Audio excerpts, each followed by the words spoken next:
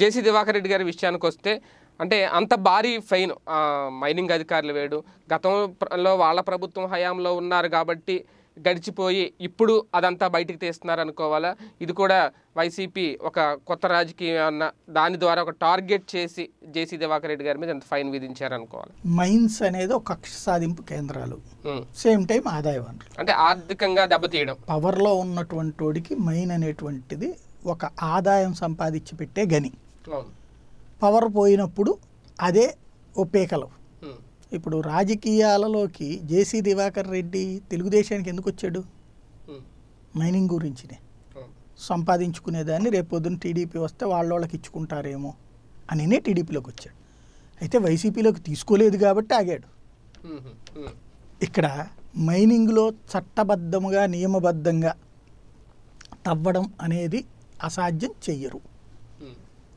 ఒకటికి పది రూపాయలు మింగుతారు. ఒక సెంటీమీటర్ అంటే నాలుగు సెంటీమీటర్లు తవ్వుకు తింటారు. ఇది అందరికీ తెలుసు ఓపెన్ సీక్రెట్. పెనాల్టీ వేయడం ఆ రూట్లో అయితే కరెక్టే. కానీ పవర్లో ఉన్నప్పుడు వేరు ప్రతిపక్షంలో ఉన్నప్పుడు వేస్తారు. ఇప్పుడు వైసీపీ లీడర్లు దానికి ఏమనండి? సిద్ధారాఘవరావు.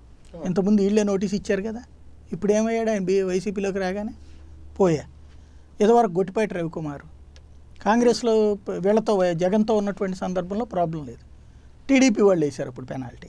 ఆయన ఇటు రాగానే మంచోడు అయిపోయాడు కాబట్టి మైన్లు అక్రమం జరగలేదు అంటే వెరితనం అక్రమం జరుగుతూనే ఉంటుంది.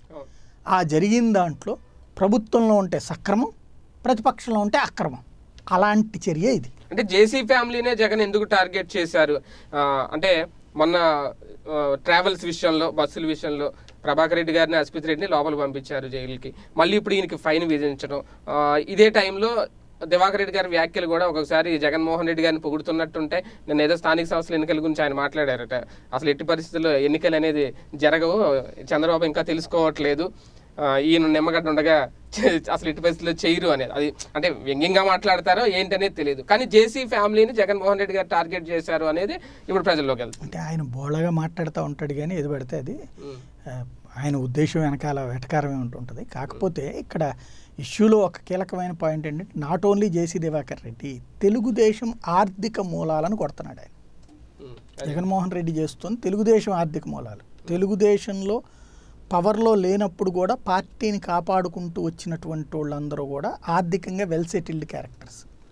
Like JC Diwakar Reddy Paritala వాళ్ళ వాళ్ళ ఏరియాల్లో వాళ్ళ డబ్బులతోనే నడిపించారు పార్టీని.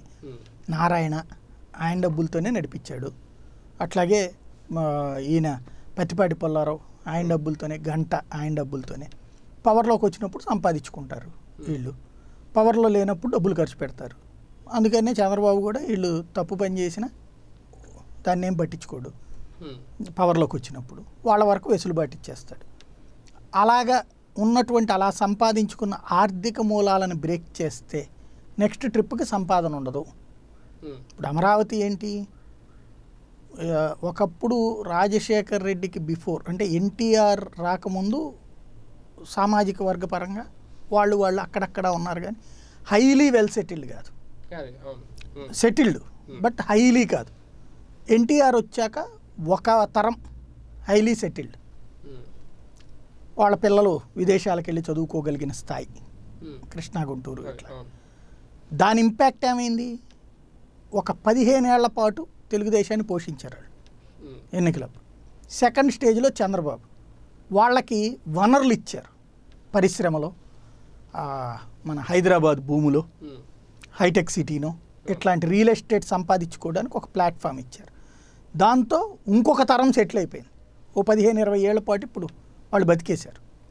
ఇప్పుడు వాళ్ళ పిల్లలు మళ్ళీ విదేశాలు ఉద్యోగాలు వ్యాపారాలు పరిశ్రమలు ఇవన్నీ నడిచిపోయినాయి సాఫ్ట్వేర్లు సాఫ్ట్వేర్లు ఇవన్నీ. మూడవ తరానికి అమరావతి. నెక్స్ట్ తరానికి. ఇప్పుడు అమరావతి అనేటువంటి చోట్ల ముందుగానే ఆ చుట్టుపక్కలన్నీ భూములు కొనుక్కున్నటువంటి వాళ్ళు. అమరావతిలో భూములు అనేటువంటిది ఒక పార్టీ అసలు. అమరావతి చుట్టుపక్కల భూములు అనేటువంటిది ఎక్కడ ఉన్నాయి? ఇప్పుడు ఎవరి చేతిలో ఉన్నాయి. అక్కడ లోకల్ రైతులకు వచ్చింది ముప్పై లక్షలు ఉన్నాయి ఇరవై లక్షలు ఉన్నాయి పది లక్షలు నలభై లక్షలకు వచ్చింది. బట్ కోట్ల రూపాయలకి పలుకుతున్నాయి కదా అక్కడ. అవును. అవన్నీ ఆ కొన్నటువంటి వాళ్ళ దగ్గర ఇప్పుడు అమరావతి అక్కడే ఉంటే అటు అన్ని పార్టీలు ఒప్పించారు కదా వీళ్ళు. వాట్ నెక్స్ట్ ఇంకొక తరం ఇంకొక ఇరవై ఏళ్ళ దాకా ఉంటారు. అది ఇక్కడ. ఉమ్, ఉత్తరాంధ్రలో ఒక గంట. అవును. ఓ రామకృష్ణ వెలగపూడి వీళ్ళందరూ ఏంటి? ఉమ్, సంపాదనే కదా. ఇప్పుడు మొన్న ఉత్తరాంధ్రలో జరుగుతున్న ఏంటి కూల్చివేతలు. ఆర్థిక మూలాలే కదా. గీతం. నలభై ఎకరాలు. మొన్న వీళ్ళు పేద పెద్ద స్టేడియాలు లాంటివి గట్టిపడేశారట. అవి పగలగొట్టారు కదా అవన్నీ ఆర్థిక మూలాలే కదా. దాంట్లో ప్రభుత్వ భూమిలో వాళ్ళు వ్యాపారం చేసేసుకుంటారు. ఉమ్, వాళ్ళది వా- ఐదు ఎకరాలు తీసుకుంటే పది ఎకరాలు ప్రభుత్వ భూమి స్వాధీనం చేసుకుని దాంట్లో కట్టేసుకుంటారు. దాన్ని రెగ్యులరైజేషన్ అని కోర్టులకు పోతారు నడిచిపోతూ ఉంటారు. అట్లాంటి మూలాలు అక్కడ ఆపాడు. ఇటు రాయలసీమలో కానీ ప్రకాశం జిల్లాలో కానీ మైనింగ్ ఆధారిత దోపిడీ. దాన్ని ఆపుతున్నాడు. ఏంటిది? తప్పులు చేయట్లేదు? వాళ్ళంతా తప్పే. అంతా తప్పు కాదు. అంతా తప్పు అయితే చేస్తున్నారు. అంటే అంతా తప్పు కాదంటే ఇందులో ఐదు శాతం కరెక్ట్ ఉంటే తొంభై ఐదు శాతం తప్పుడియే ఉంటాయి. ఆ తొంభై ఐదు శాతం తప్పుల్ని ఇంతకుముందు ఆపలేదు. పర్మిషన్ ఇచ్చారు. ఇప్పుడు ఈయన ఆపుతున్నాడు. ఆపడానికి కారణం ఏంటి? ఈయనకి ఇంటెన్షన్ ఏంటి? వాళ్ళ ఆర్థిక మూలాలను ఆపడం. అదే ఇక్కడ జేసీ దివాకర్ రెడ్డి ఇష్యూలో అంటే టీడీపీ ఆర్థిక మూలాలను దెబ్బ కొట్టే పనిలో నాయకుల భవిష్యత్తును తాకట్టు పెట్టే పని జరుగుతుందా? తాకట్టే ఉంది. ఇప్పుడు జగన్ మనుషుల్ని ఏమన్నా నేను అంటే రేపు పొద్దున వీళ్ళ పోటీకి దిగ్గలుగుతారా? ఆర్థికంగా దెబ్బ కొడితే ఇప్పుడు రేపు. వంద కోట్లు ఫైన్ కట్టకపోతే ఆస్తులు జప్తు చేస్తామని చెప్- చెప్పారు ఆల్రెడీ అది ఏముంది కోర్టుకు పోతాడు ఆయన? మళ్ళీ స్టే తెచ్చుకుంటాడు? ఇప్పుడు గరికిపాటికి ఎవలా? గొట్టిపాటికి ఎవలా? అంతే ఉండేది. స్టేలు తెచ్చుకుంటారు. అయితే స్టేలు తెచ్చుకున్నప్పటి నుండి సమస్య ఏముంటుందంటే స్టే యథాతథంగా ఉండాలి. తవ్వుకొని కూడా తవ్వుకోకూడదు. అవును. అక్కడ అయిపోతుంది పెనాల్టీ కట్టరు. మళ్ళీ పవర్లోకి వచ్చినప్పుడు వీళ్ళు వాళ్ళకి వచ్చినప్పుడు మళ్ళీ కంటిన్యూషన్ అయిపోతుంటుంది. అది కామన్ థింగ్ లేదు అనుకో ఒకవేళ స్టేలో కేవలం పెనాల్టీ మీదనే స్టే అనుకో తవ్వకాలు బిగిన్ చేసి తీసుకుపోతుంటారు. వెంటనే రోజు లారీలు పట్టుకుంటారు సీజ్ చేస్తుంటారు పెనాల్టీలు వేస్తూ ఉంటుంటారు. వాటి మీద ఎవడు స్టే ఇవ్వలేరు. డబ్బులు కడతా ఉంటుంటారు. ఎన్ని రోజులు కడతాంలో ఎందుకు వచ్చిన కూడా కొన్ని రోజులు ఆపితే పోలా అని ఆగిపోతారు. అప్పుడు వీళ్ళకి వచ్చే రోజువారీ ఆదాయం అయిపోద్ది. ఉమ్. అంటే పార్టీ మారిపోతే ఈ ఫైన్లు ఉండవా? అంతే గారి విషయంలో మన ఈయన గన్నవరం మనిషి కానీ. అంతే. పార్టీలో ఆ పార్టీలో ఉంటే దొంగలు. మన పార్టీలోకి వస్తే పోలీసులు అయిపోతారు.